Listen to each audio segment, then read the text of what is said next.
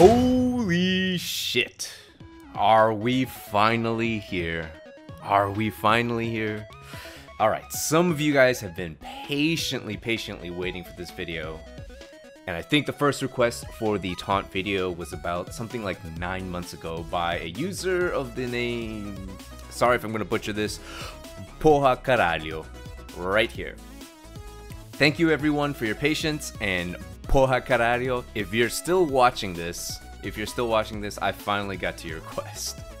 Uh, at the time, I was not ready to cover this topic, but now, now, I present to you guys of YouTube the best Bryan guide on the internet. Part 1, of course, part 1. Hit it!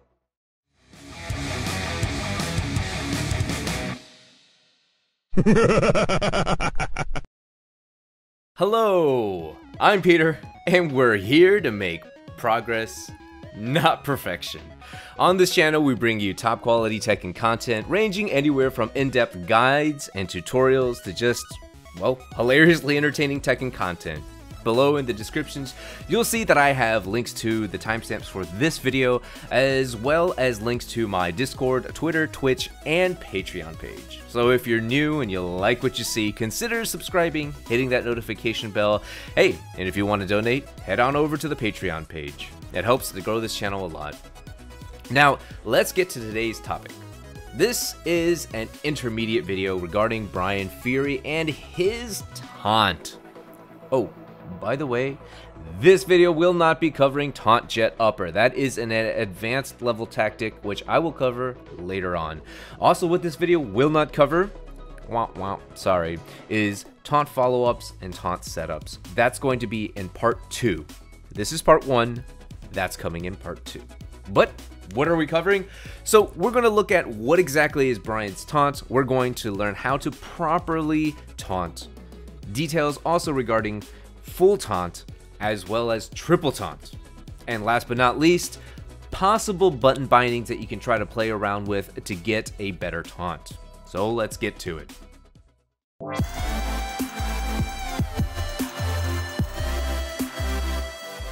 As many of us know, Bryan has one of the best unblockable attacks in the game, the taunt.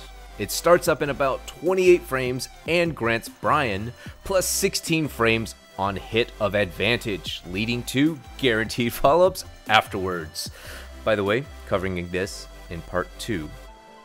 This move is one of the best and most unique tools Bryan has to open up opponents who are reluctant to press buttons, as well as opponents who love to tech roll.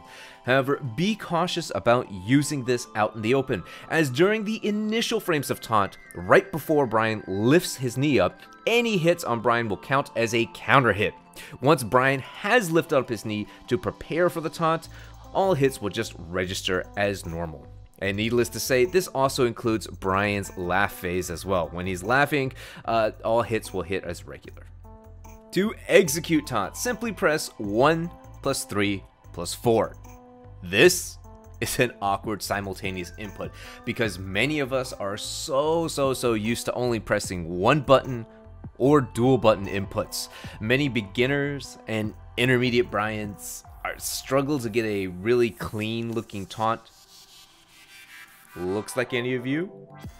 Eh? Eh? Well, worry not. There's hope. You're just a little sloppy with the inputs and probably plinking or rolling your inputs just a little bit. This is perfectly normal to start, and heck, I've seen even top level players accidentally do this from time to time. As uncomfortable as this input may be, we rarely, rarely have to press all three buttons in unison. That's because taunt can be button buffered. I'll gloss over this really quickly, but if you don't understand button buffering, check out the video in the upper right hand corner that I have right there that explains everything you need to know about button buffering and what it is. Again, taunt can be buffered, so if we hold down 3 plus 4 and then just press 1, we get taunt. If we hold down the 1 input and press 3 plus 4, we get taunt. If we hold down the 3 input and press 1 plus 4, we get taunt. And so on and so forth. You, you get the idea. taunt can be buffered. Basically, any combination of 1 plus 3 plus 4, you're going to get taunt.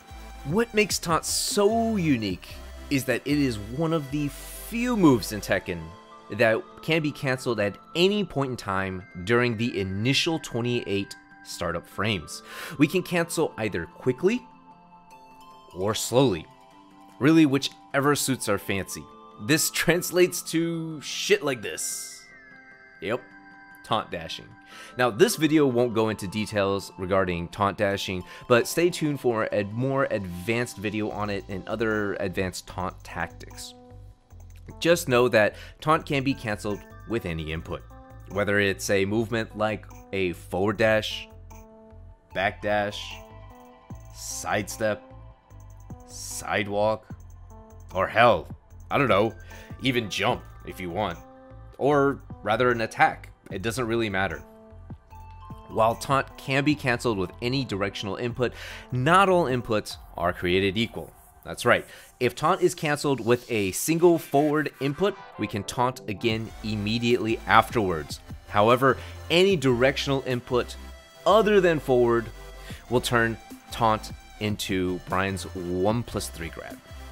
Additionally, taunt cannot be performed while in a running state, which will also result in a 1 plus 3 grab. Taunt can be performed, however, after a forward dash, but there needs to be a neutral input after the dash.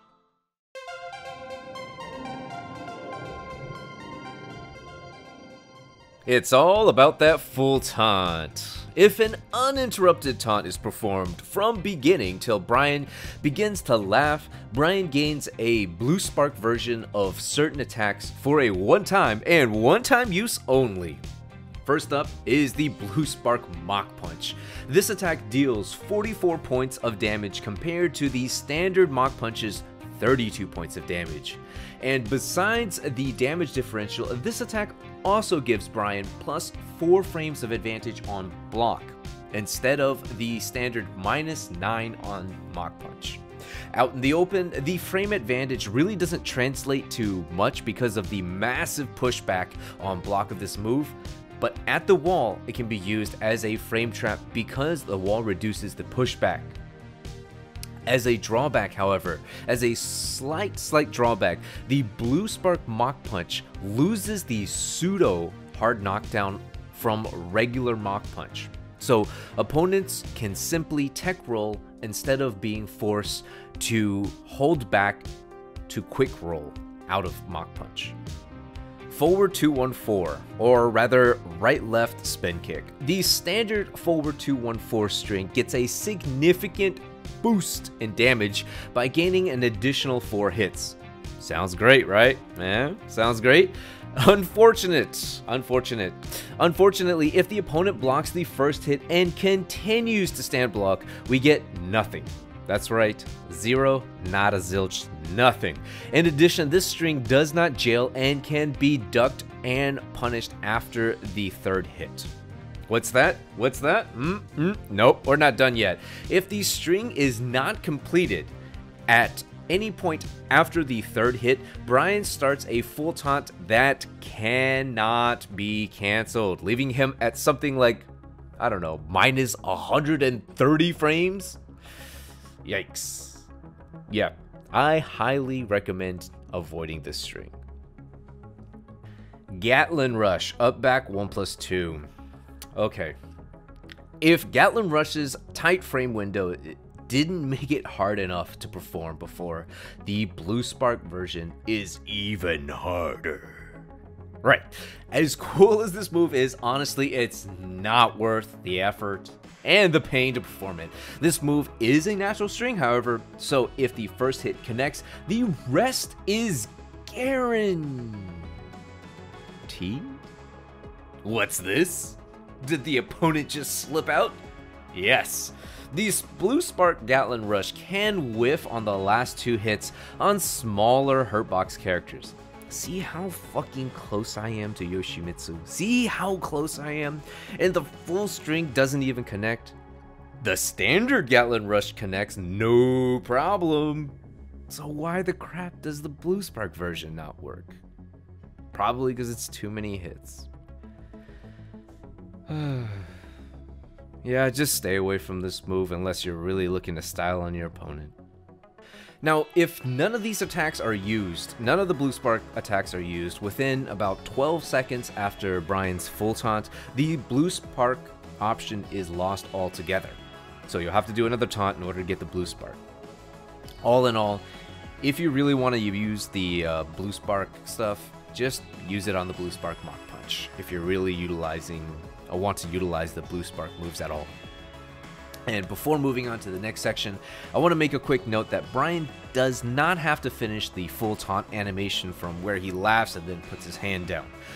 All Bryan has to do, all we have to do is hear Bryan laugh. As soon as he does the laugh, we can cancel into any of the Blue Spark moves.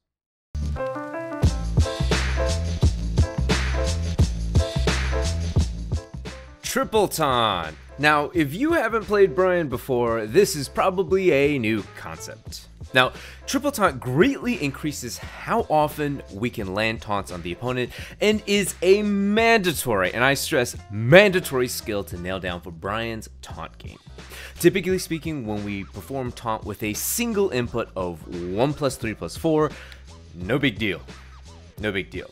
However, I don't advise the use of just a single iteration of taunt. Instead of performing 1 plus 3 plus 4, we want to perform 1 plus 3 plus 4 three times. And we can buffer 3 plus 4 and simply press the one input twice. That's it. Now, see the difference here. See the difference between the taunts? Alright, you're probably wondering, Peter, what the fuck? I don't see a difference. They look exactly the same. And on the surface, you would be 100% correct. Triple Taunt is a necessary and necessity because it increases the homing properties of Taunt. Check this shit out. See how we do a jab into a single taunt here? Notice Kazuya's position when the taunt completes. He is literally behind Bryan. Now watch this. We do a jab on block, and this time, this time we triple taunt. Notice that Kazuya is more towards the side instead of almost completely at the back. And here's a side-by-side -side comparison so you guys can see for clarity of where Kazuya ends up. This, my friend, this is the power of triple taunting. I realize that this isn't always necessarily obvious out in the open, so let's use a easy wall tech uh, situation to really just better show the differences between them. Here we have Bryan trying to catch a tech roll at the wall with a single taunt, and oops, the opponent is behind us. Bad times. And, and now we go for the same combo, into triple taunt, and instead, huzzah! Our taunt hits. What do you know? Now, some of you guys may have heard, all you need is a double taunt. You don't need triple taunt. Wrong. Well, eh, sort of. Double taunting is good. Triple taunting is better. Notice how this double taunt here misses because the second taunt came out too quickly. It was buffered in too quickly. So it wasn't able to track the opponent. This, however, is a rare occurrence, however, when we triple taunt. So triple taunt. Now, another misconception that normally happens is that dashing into a taunt tracks tech rolling opponents. This is, again, both true and false. Sometimes a dashing into a taunt will catch opponents who are tech rolling, but sometimes it will not. It's inconsistent and just bad practice to do overall, I would say.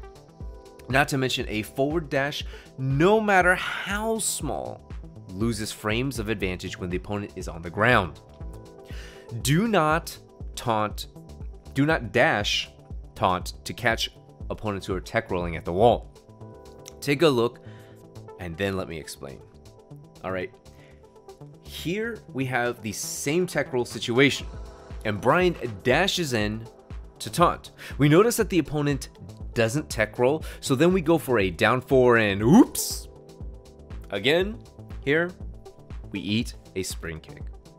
Notice this does not happen. Notice that this does not happen if we triple taunt because we don't waste precious advantage frames performing a forward dash, thus hitting our opponent out of the spring kick with the down four in time.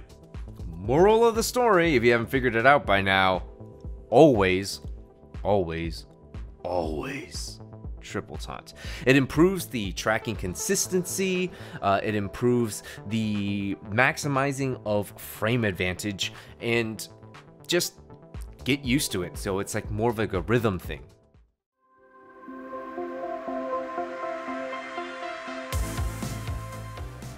Button configurations. Alright, before wrapping up this video, I wanted to go over some button configurations to help you land taunt a little bit more consistently and to make your life simpler. To review, taunt can be buffered, but from time to time you will need to input it raw, as in pressing 1 plus 3 plus 4 simultaneously. And we don't need button bindings to help us get a consistent taunt, but it sure as hell makes things a lot simpler, doesn't it, sometimes? So, first up are those pad players. If you guys play with these, you know, something that looks like this right here, Crossroads just zoom in on this shit right here. If you guys play with one of these, you will typically fall into one of two categories. You have standard grip, where you hold the controller like this, and you press the attack buttons with with your thumb like this, right? You press attack buttons with your thumb. Or, pad players, you fall into the second category where you hold the controller claw grip style, like this, right? Where you're pressing the attack buttons with either your index finger and or your middle finger, something like this.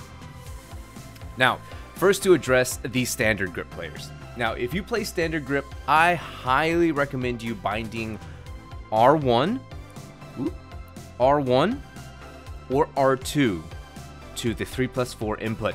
This lets you combine one of these shoulder inputs with the one button here, the square button here, to get a taunt without having to mash your whole thumb over three separate inputs. This is kind of hard to do pressing three inputs. Most of us don't have huge ass thumbs, so pressing these three buttons with one thumb simultaneously is a bit awkward. Uh, it can be inconsistent. The reason I recommend R1, R1 and R2 here, and not L1 and L2 is because it is much easier to simultaneously input multiple commands with the same hand. This may be up to personal preference, but in my opinion, trying to time a left shoulder button input and a right finger press, which is going to be your one input. Man, this is so hard. The one input here, trying to do something like this is rather difficult uh, to time properly versus doing something like this. Now, Second up are those claw grip style players. So if you play claw grip like this, uh, I recommend the exact opposite. So you're going to want to bind either L1 or L2 to 3 plus 4, right? One of these buttons here, L1 or L2 to 3 plus 4. Why? Well, you don't really have much of a choice, guys. Uh, it takes some crazy finger gymnastics with your right hand if you're playing like this to access R1 and R2. So, like, you're gonna have to do some crazy ass shit like this. Uh, and even though like I mentioned before, even though pressing L1 or L2 simultaneously with the one input is more difficult in my opinion than the standard grip players using R1 and R2, you can master this no problem, just take some practice. Last but not least, to my homies, you stick players. You guys that play with this, this shit right here, this is the bomb. All right, you guys have made my life a lot simpler. So, if you play with stick and you have at least six buttons on your arcade stick, which I guess nowadays is pretty standard, uh, at least to have six buttons on your arcade stick, binding one of these two button inputs that you see here on the screen, one of these two extra buttons to the 3 plus 4 input is going to be your friend. While it is significantly easier to press 1 plus 3 plus 4 simultaneously on stick compared to pad, it does make life simpler to have a button binding bound to 3 plus 4. This way, you just have to press two buttons at the same time instead of three. If your arcade stick has eight or more buttons, uh, I've rarely seen arcade sticks that have more than 8 attack buttons. But anyways, if you have 8 or more buttons, stick to the inner buttons that you see here that I have in blue. Mostly because you want to avoid any extraneous hand gymnastics. Alrighty guys, thank you guys so so much for sitting through all of this. I know this wasn't necessarily the video that some of you guys were looking for. Um, sorry to say that this video did not have taunt setups, taunt follow-ups, uh, etc etc, taunt jet uppers. Uh, those will be in the next video aside from taunt jet upper that's an advanced video but um, taunt follow-ups and taunt setups that's going to be in the next video but this one was more or less along the lines of uh, getting your feet wet, understanding taunt, taunt cancel, um, the different properties of taunt, full taunt, um, how to input taunt properly, doing triple taunts, as well as button bindings and configurations, yada yada yada. So that's the purpose of this video. The next one will be the one that you guys, I think, have been waiting for. Well, with that, I just want to give a quick shout out to all the patrons. Thank you guys. Thank you, thank you, thank you so much. It is with no doubt in my mind that this channel would not be here today what it was without you. Your kind gestures and donations have truly helped this channel grow uh, and increase the production value. Well, with that, I'm Peter, and I'm signing out. Have a good night, guys. Take care. See you next time on the next Taunt video.